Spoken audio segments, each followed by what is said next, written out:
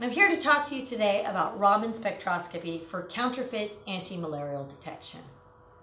Counterfeit medicines are a huge health hazard, especially in developing nations where people have limited funds, so to buy costly medicines are a problem. So with the funds that they do use, they may be able to buy a less costly, though counterfeit drug. Counterfeits may be such that they contain the correct ingredients, so they have the active drug in them, but they don't have enough of it. Or it could be that they don't have the drug, therefore they're not effective at all. So the health hazard is really problematic here. So there are grave medical dangers that occur with counterfeit drugs, especially in those instances where there are no active ingredients.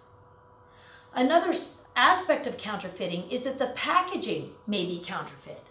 So it could be product that was stolen that was then packaged by someone else to make money from that product. Because counterfeiting is such a large global pro uh, problem that manifests itself in different ways, it can be difficult to really pinpoint the problem and understand the extent of it. But it is a problem. It's such a problem that the World Health Organization put together some guidelines for the development of measures to combat counterfeit drugs.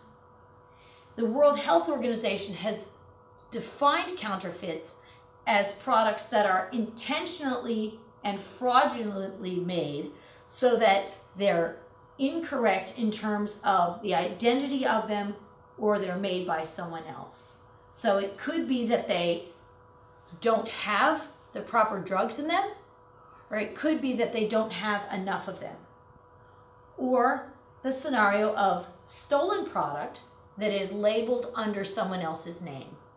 What I'm going to focus on today are anti-malarial tablets. Malaria is a huge problem in much of the world and there are drug-resistant strains that are cropping up because of the extent of the problem both of the malaria and of the counterfeit drugs that are used.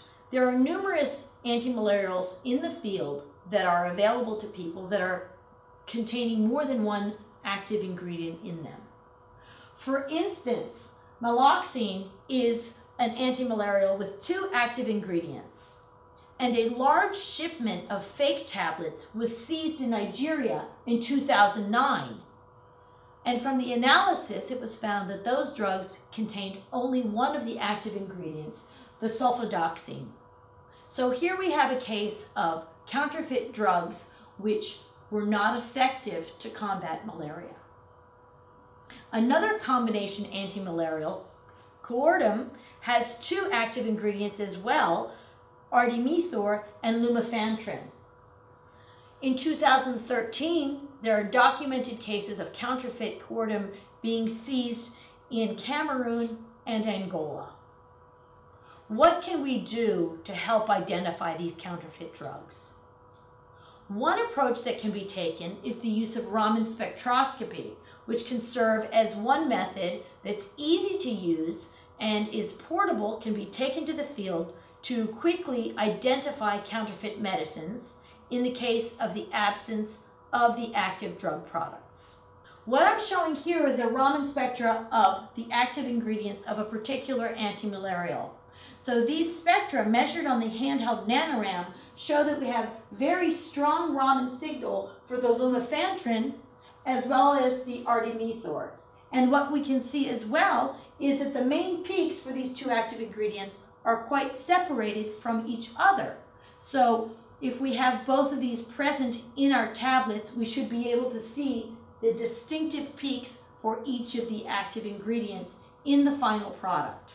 Here I'm showing you the spectra measured of an antimalarial where there were different tablets that were in different containers. One packaging which was clearly a counterfeit package. The printing was wrong, some of the verbiage was incorrect, though the color, the overall color of the package was correct. When we measured the Raman spectra of the tablets from each of these packages, we were not able to say that one of them was missing the active ingredient. The tablet itself was perhaps properly compounded and formulated. In another instance of identified authentic antimalarial and the counterfeit, using the NanoRam, we can clearly see that the Raman spectra are quite different. This is the authentic antimalarial, this is a counterfeit. And we can see here in red that we are missing the very strong peaks of one of the main active ingredients of this antimalarial tablet. So in this case, with the handheld Raman instrument, we were rapidly able to run a test and get a failing result against the identification of the antimalarial.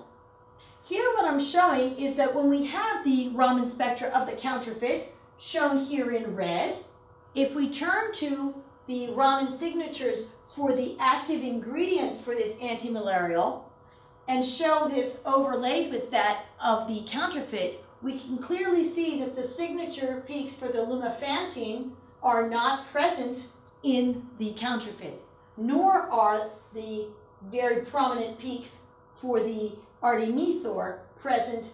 So again, this is illustrating that Raman can be an effective tool to help identify counterfeit drugs where the active ingredient has been kept out.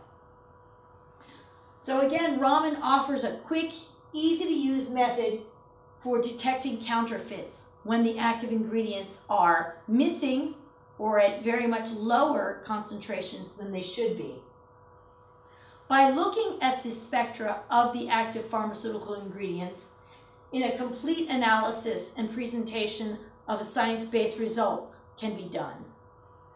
And we can also get very rapidly using the handheld instrumentation pass or fail results to help us rapidly identify whether or not we have authentic product in front of us. If you have any questions on how Raman spectroscopy can help you, please feel free to contact us at B&W Tek.